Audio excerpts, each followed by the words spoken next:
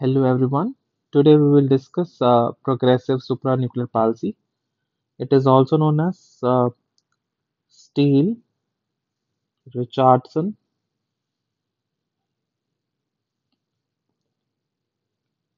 Olszewski syndrome. And this is basically a neurodegenerative disease.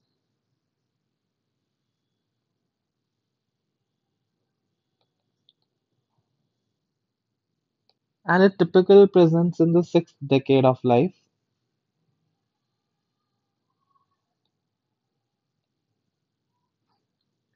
And it is characterized as we have already read in the medicine decreased cognition,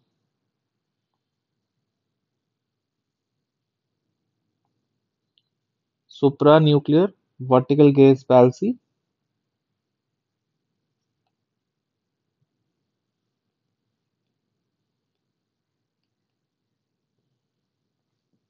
postural instability, and history of frequent falls.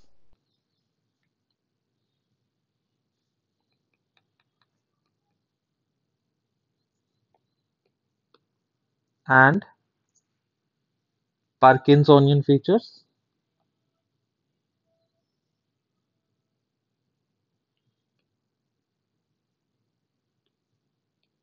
and speech disturbances.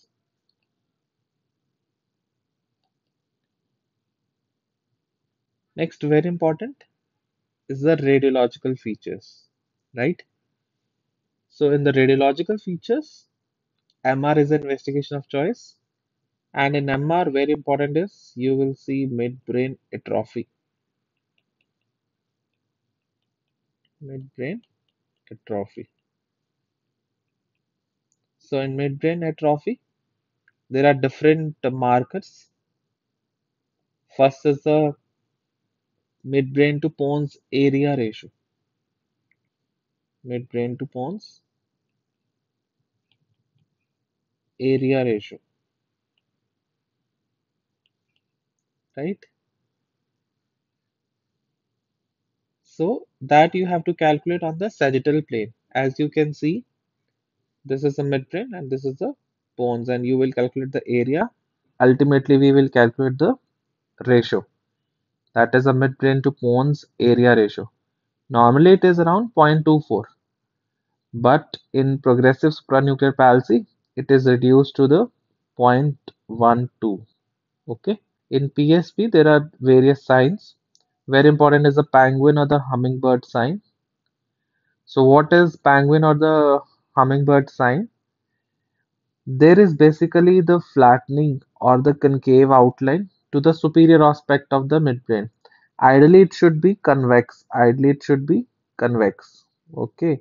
And you will see here it is the flattening. Here it is the flattening and the concavity has developed because of the midbrain atrophy and this is known as the penguin or the hummingbird sign right so there is one more terminology that is known as morning glory sign morning glory sign is basically uh, there is loss of the lateral convex margin of the tegmentum of the midbrain so tegmentum is very importantly involved in the progressive supranuclear palsy right so in normal normal individuals, the lateral margin of the tegmentum is convex. Normal individuals, the lateral margin of the tegmentum is convex.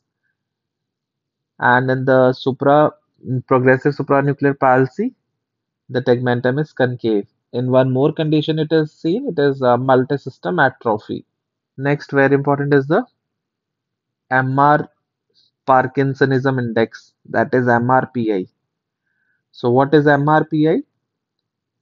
MRPI basically the it can be calculated by the equation that is P by M into MCP divided by SCP. So what is P? It is the area of the pons in the mid sagittal plane. So what is M? It is the area of midbrain in mid mid sagittal plane. Okay. So what is MCP? It is the width of the middle cerebral peduncles, right? So what is SCP? It is the average width of the superior cerebellar peduncles. Okay. And uh, in normal individuals, it should be less than 13.5. And in MC, in progressive supranuclear palsy, it is more than 13.5. And now there is a modified version of the MRPI.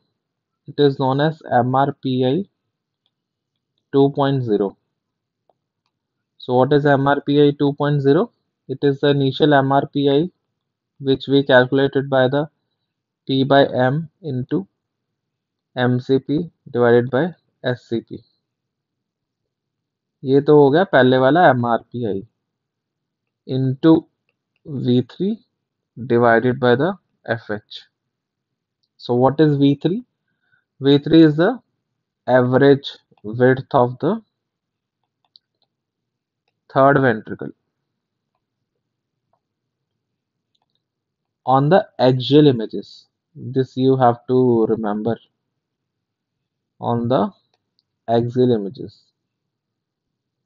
at the level of the anterior and the posterior commissure at the level of the anterior and posterior commissures. Next is FH. So what is FH? It is the maximal left to right frontal horn width on the axial images on the axial images in ACPC plane. What is ACPC plane? It is anterior commissure and the posterior commissure plane. Okay. So next is uh,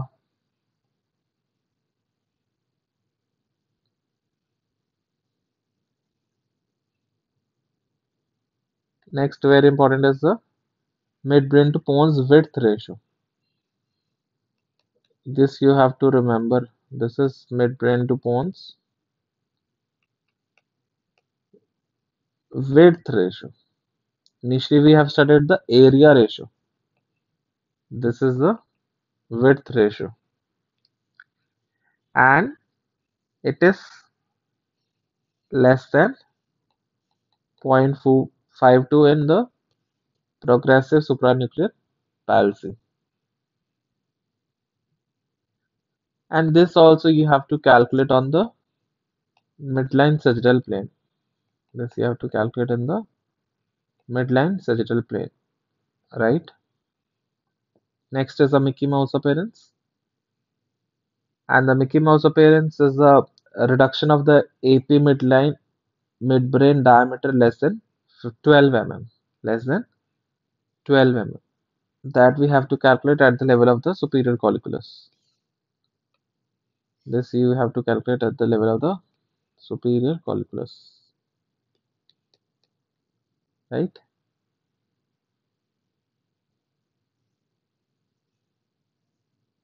And uh, this progressive supranuclear palsy, you should differentiate it from the other neurodegenerative diseases. So first is the Parkinson disease. Parkinson disease usually spares the midbrain and the superior cerebellar peduncles. Okay. And next is MSA, that is a multiple system atrophy. It predominantly affects the middle cerebral peduncles and the pons, and we have already read that as a hot cross bun sign, right? Thank you.